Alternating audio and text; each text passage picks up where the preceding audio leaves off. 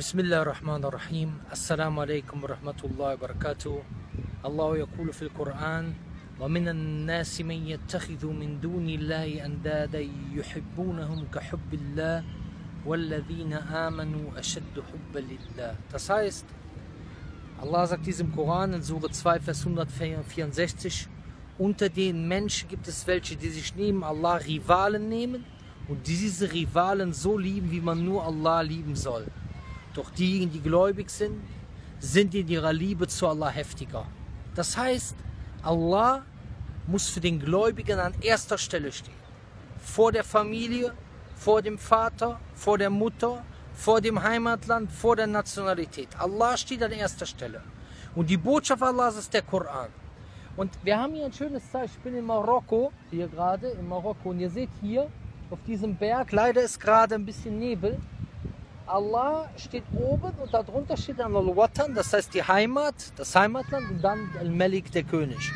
Was für mich wichtig ist, ist, dass Allah da drüber steht. Leider sehen wir sogar in manchen Moscheen, dass Allah und Mohammed an einer, auf einer Höhe stehen.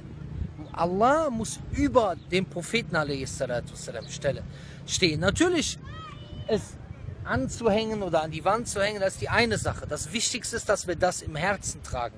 Und wie äußert sich das am stärksten, die Liebe zu Allah? Wie kann man sich selber am besten auf die Probe stellen, ob man wirklich Allah liebt?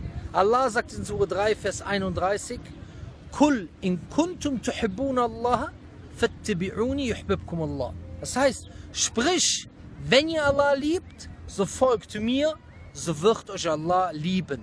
Das heißt, bin ich wirklich jemand, der den Befehlen des Propheten folgt? Bin ich wirklich jemand, der das, was der Prophet verboten hat, umgeht, nicht begeht? Frag dich selber, ich muss mich auch selber fragen, kablan. Rechnet mit euch selber ab, bevor mit euch abgerechnet wird. Assalamu alaikum wa rahmatullahi wa barakatuh.